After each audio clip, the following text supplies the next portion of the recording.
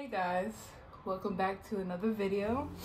I hope you are doing well. Um, just a little FYI, I need to get a new mic. I've been trying for like about 15 minutes to connect it, but it won't connect. So we're gonna have to do without a mic. I hope you can hear me loud and clear.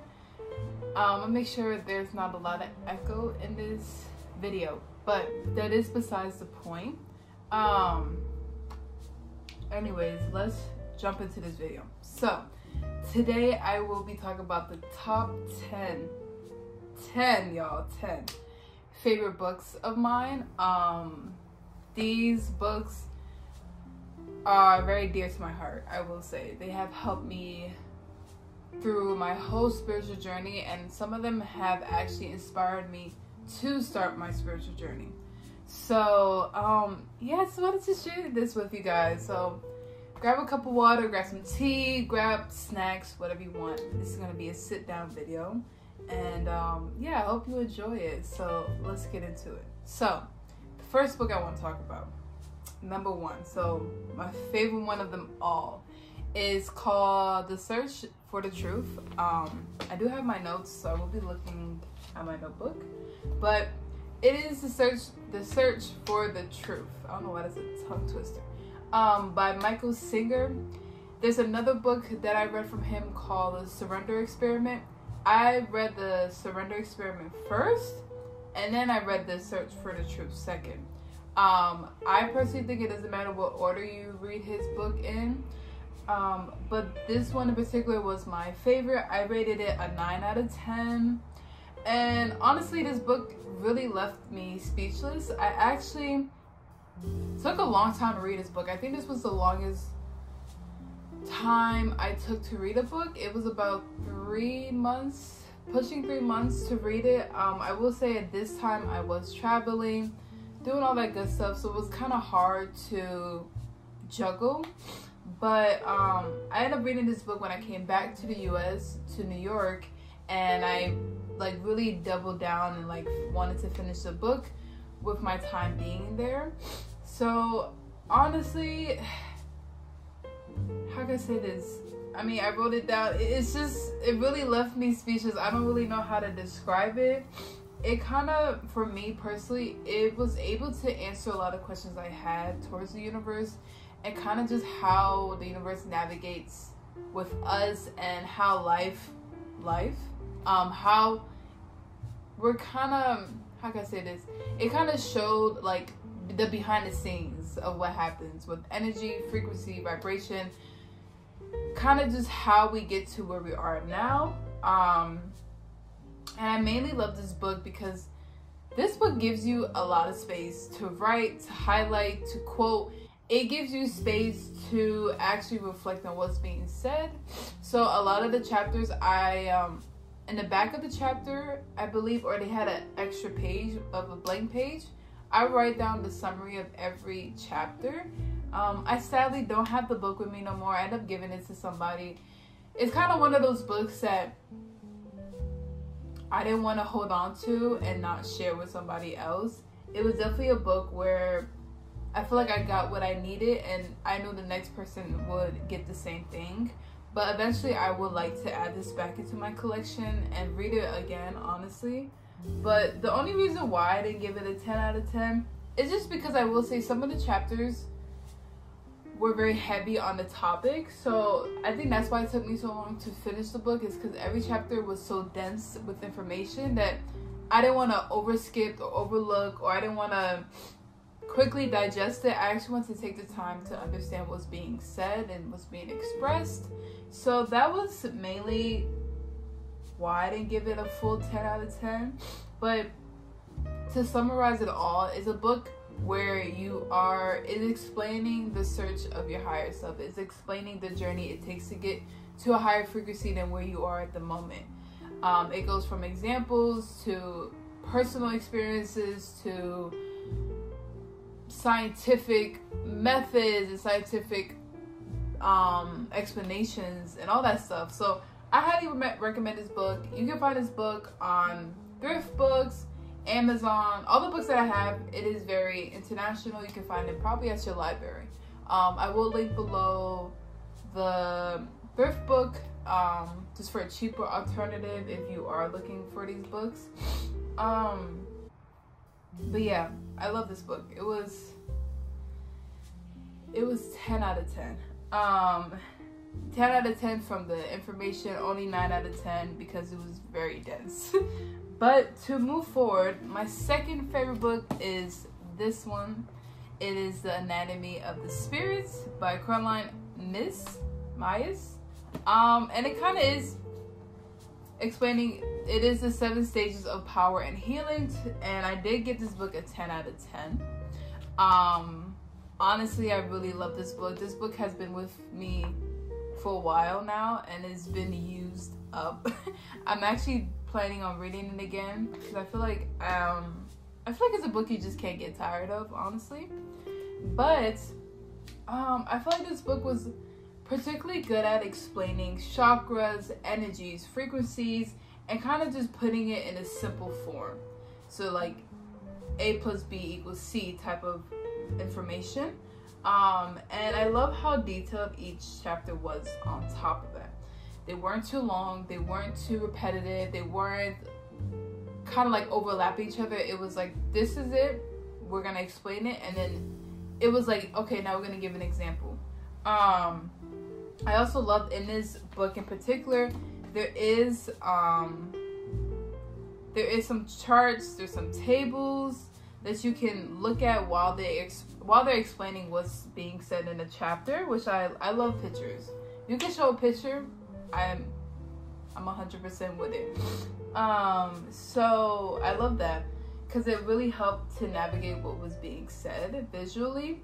And I also love this book because it was just very honest. It wasn't a lot of like how can I say this? It wasn't overly trying to baby the information. It was just being honest, like this is what it is. You take it or leave it type of thing. Um, and I actually wrote down a favorite quote of mine in the book. And the quote says, Healing is simple, but it's not easy. The steps are few, yet they demand great effort. I feel like that sums up the book. It's like, if, because at the end of the day, healing is a choice. It's not, it's not something you have to do um, and maybe not something you need to do within this life path you're in. But once you make that choice, it is a lifetime choice. It's not just a few months or a few days. It's is a commitment. It's a marriage that you are making with yourself through this life path until you go to the next. Um, but I absolutely love this book. This was a great, great, great book. Um, never can get tired of it. And then my third favorite book is The Mastery of Love um, by Don Miguel Ruiz. I give this book a 10 out of 10. I first of all love the cover, like, and it's such a small book, so I actually took this book with me through my traveling because it fits so well in my book bag. I didn't have to like worry about it or it getting damaged. It just fit perfectly in there, and I was able to read it throughout my experience.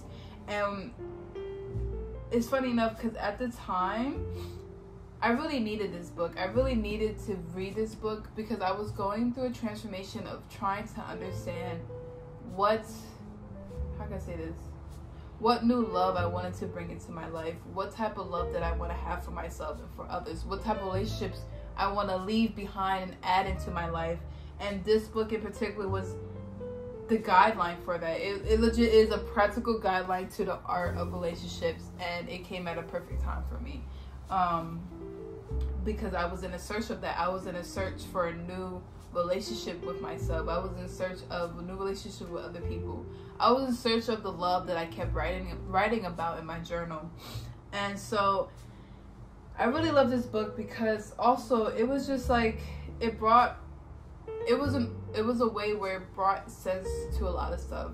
Um, the way it's formatted, it kind of just highlights the problem, and then it goes into the cause and effect of that problem and then it gives you a solution and it's up to you how you want to navigate that. I also felt like it was a guidance through through the ability to hold what was being given to me. It's like okay here's this new love we're gonna show you how to keep this it's up to you on whether or not you want to keep it in your life and i feel like that book helped me to understand certain triggers I was having, certain experiences that I didn't understand, certain people I was meeting, and being exposed to a different type of affection, being exposed to a different type of love was it was it wasn't hard, but it was difficult for me to accept, and I feel like this book helped me through that. Um, and I also have a favorite quote from this book, which is selfish selfishness comes from poverty in the heart, from the belief that love is not abundant. Yeah. um, so my next book, just to give on a lighter note, um, is Chameleon Aura, which is by Billy Chop Chopta. Chopta. I hope I'm saying it right. Um, this is a poetry book, and I gave this book a 10 out of 10. I actually I feel like I think I got this from a friend, but during this time I was kind of like getting into my poet stage of my life around this time this also was a time i think this book was right after i read milk and honey and during this time i was kind i was trying to open my poet side a bit more um before then i would i would write poetry but not really i would just like throw up my emotions on paper in a poetic way kind of i don't know but during this time i when after reading these two books, that's when I actually took my poetry more seriously. That was also the time where I started to actually share my poetry with other people. Um, I even found confidence to express myself through poetry and just to take myself more seriously as a poet. Those these two books definitely inspired that in me, um, especially Chameleon I just I just love it. I love the book. I loved every poem in it. I even like highlighted some of the poems because they just felt very sincere to me, to my experience and what I was going through. Um, and I did write a poem down that I wanted to share, and it's on page 245. And it says, You are not responsible for someone else's insecurities. It is not your responsibility to babysit people's insecurities. You are not obligated to slow down your bloom so they can meet you at a level where they are comfortable with your growth. Your growth is too important to them. The light within you for someone still trying to find their own way. I just love that poem. A lot of them are very, not very short, but most of them are short. Some are like a bit long, but I loved it. It was a great book. Um, and then my next favorite book, uh, Just Kids by Patti Smith. This book I definitely got from a friend, and me and her were reading it at the same time. And I, guys, if you don't know, I am a sucker for romantic books, but also I'm a sucker for art. And if you put the two together, oh my god, I read that. I've been reading this book at least three. I think I read this book at least three to four times now. Um, and this book is 11 out of 10 because I'm just a, the cancer in me is just a sucker for love, okay? And then if you add art, it's just like chef's kiss. Um, so this is my comfort book, I will say. It just makes me feel like it. Oh, it just calms me down when I read it, and I just love so in this book, it is romanticizing these two people who come together as artists and they're navigating their way as defining themselves as an artist and how they want to define themselves in a society where art is coming up. This is around like the 70s, really, kind of the 60s, but like when psychedelics started to come in, when, when artists started to blossom more, where people started to bring individuality into society and find themselves finding their own path. And I feel like this book really highlights the journey of what it is to be an artist. It also highlights and shows a great balance between death and rebirth and also the journey of living to make art. These people live to make art. It wasn't, oh, art is a hobby. No, they woke up every day and made art. They went to bed making art. They thought about art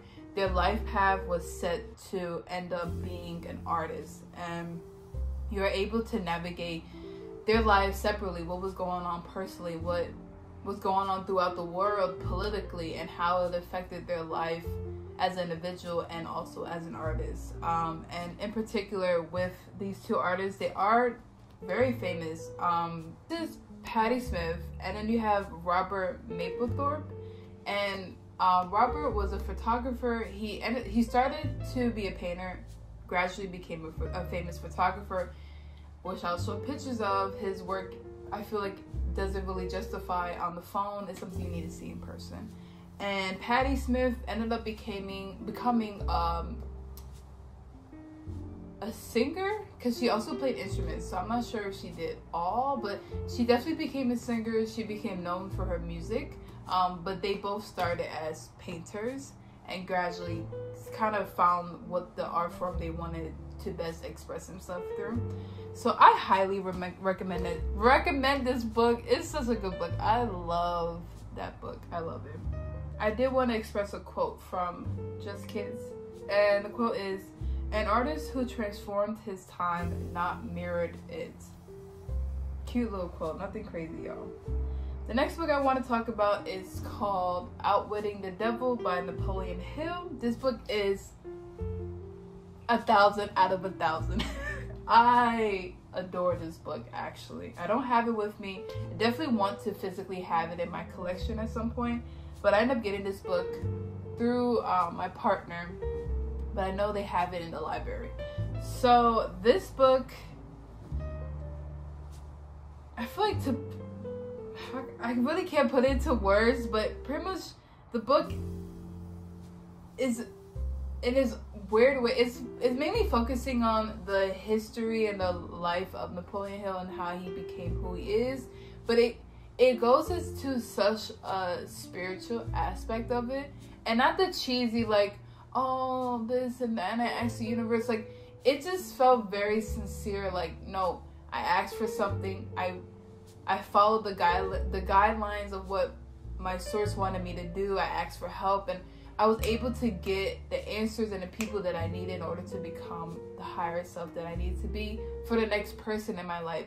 It's a very selfless book. It's a very much it's focusing on what it is to be rich within your heart, what it is to be rich in your personality, your individuality, not focusing on being rich financially and being this upper high end important person and that's all your that's all your worth is is what your status is is it goes very deeply and not only does it go through that journey but it also helps to connect the idea of that there is a solution to your problems and there is an explanation to your problems. And it just kept, you know, it kept me hopeful in not only the journey of figuring out my life path, but also kept me hopeful in the journey of knowing that everything happens for a reason. Every person you meet, everything you go through, it's not for you, it's for the next person who's gonna need you. Um, and I had a lot of ahas and oh, oh, that's me for sure. Or like I had a lot of moments where I was like, oh my god, that makes sense. so um, I did have a quote for this book too, and it is: "A new world is revealed to me. Whatever man believes to be true has a way of becoming true." And yeah, this book was amazing. I highly recommend this book. It's Chef's Kiss. So I do want to express the good thing about this. Let's say my summaries are not good enough and you want to go a little deeper into these books before buying it, before going your way out to get it from a library. I have a podcast that I do book reviews on. Just give a little applause.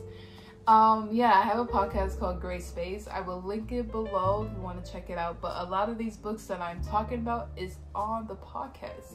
And I go into more depth because within that time it's fresh in my mind. I'm probably maybe a few days after reading that book, so I have all my notes down. I'm going from quote to quote and just talking about it in depth. So if you want that experience, definitely check it out. I will link it below and support the platform, of course. If you have gotten this far too, I think at this point you should like and subscribe and just support the channel. Um, but yeah, let's get back into it. The next book I want to, talk about is called Codependent No More by Melody Beattie. I gave this book a 10 out of 10. And this book definitely had a major impact on my spiritual journey. Um, again, this was another book where it helped me navigate why I have problems in my relationships. It helped me navigate myself in particular and what was going on, why I was having the issues of why I was having the issues that I was having within my relationships, especially the ones I was having with myself. Um, and it also made me feel okay with my struggles. It didn't make me feel shitty. It didn't make me feel like, oh, I need to fix this right now. It motivated me to want to fix it, but it didn't force me. But it helped me to be able to sit with what, what was the truth. It helped me sit through what needed to be changed in order to get what I wanted. And um, yeah, it just helped to explain a lot of stuff and also it gave me a solution to my struggles, which we love. Um, so it just helped me to be hopeful in the journey of healing relationships with myself and with others.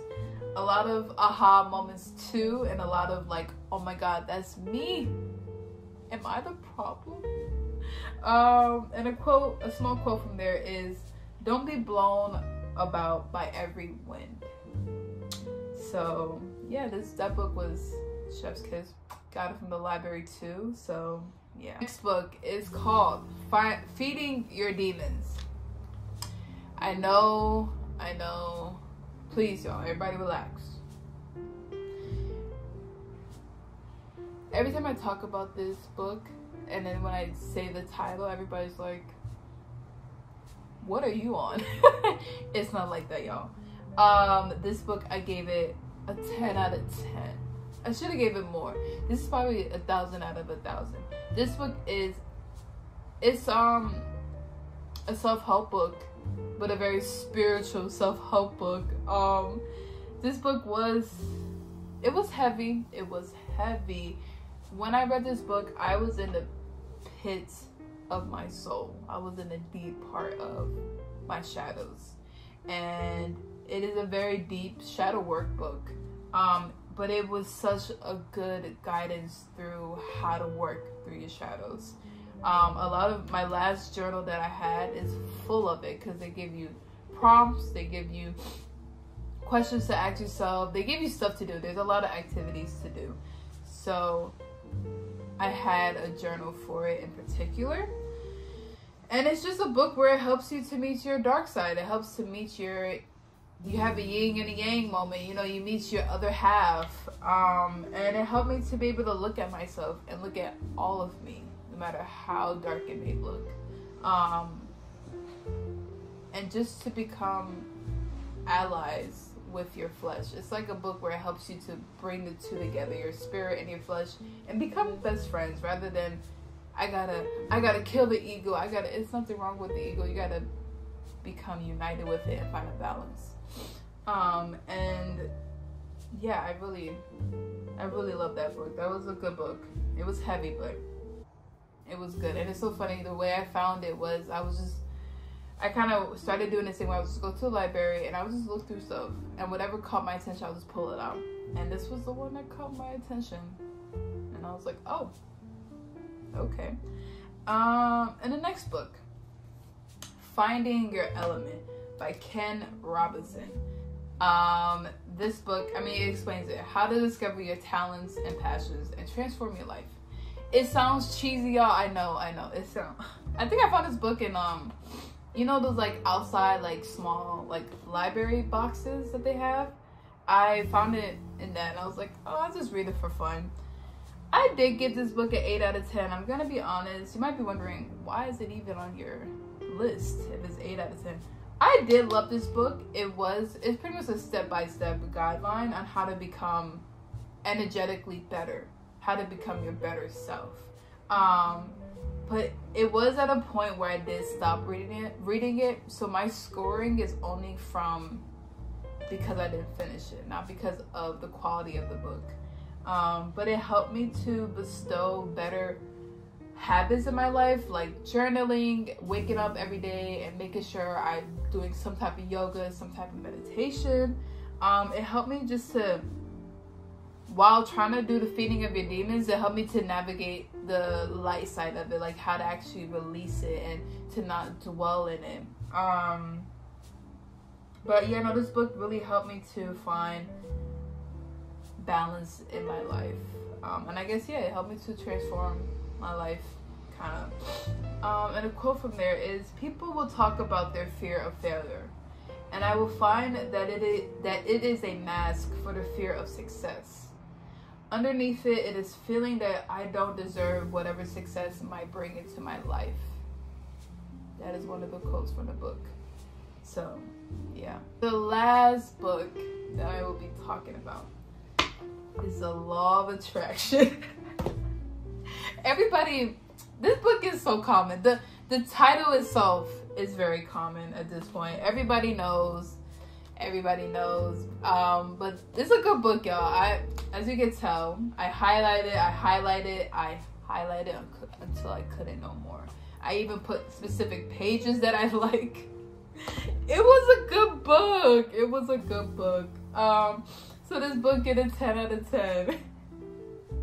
I know everybody everybody knows, but um I will say I honestly don't remember everything out of this book because I did read it a long time ago. But what I will say, I like this book because within it, it has subtitles, and these subtitles talk about specific things. So one of the questions will be, should I meditate? Or another question is, what is the measure of our success or my success? Um, it's a very straightforward type of thing where it's like question, answer, question, answer. Sometimes they'll go into examples, sometimes they'll talk about experience, but it's very much like that type of guidance of question, answer. Um, and I loved it because it was a quick read. It didn't take me long to read at all. Um, and a quote from this one is Within all people, there are vibrations of that which is wanted and vibrates uh, at a lack of what is wanted. And everything that comes into the experience always matches the energy that is the most dominant. And yeah, so that was the last book for this video if you loved this video as much as I did, I will hope you like and subscribe and share this video with others. Um, and if you like any of the books, like I said, I will link below where you can find the cheaper version of it if that is the issue. Um, I will also just write down a list of every book that I talked about within this video. And yeah, I hope you guys enjoyed this and I will see you in my next video. Peace.